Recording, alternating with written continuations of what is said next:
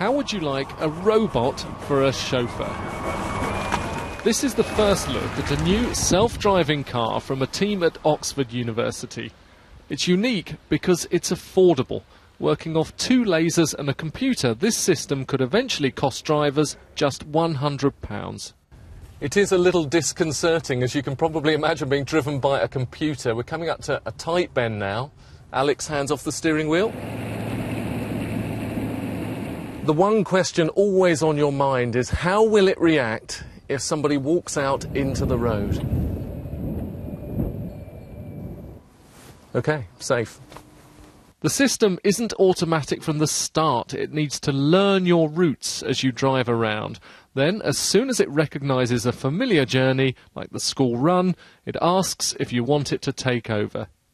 This sensor here, just poking out from underneath the number plate, is emitting a laser curtain. It's not going to happen overnight. There's not going to be a sudden juncture where there's a car that you can buy that suddenly is autonomous all the time simply by getting in the car and pressing a button that says, drive me. This isn't going to happen.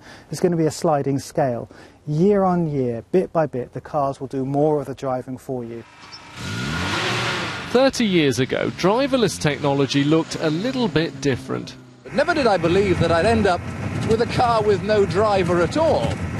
Today, you can buy a new car that brakes automatically for you.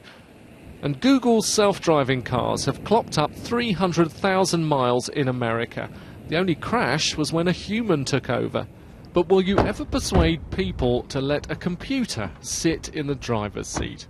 As a cyclist, the thought of cars on the road without dri- without an intelligent life form driving them absolutely horrifies me.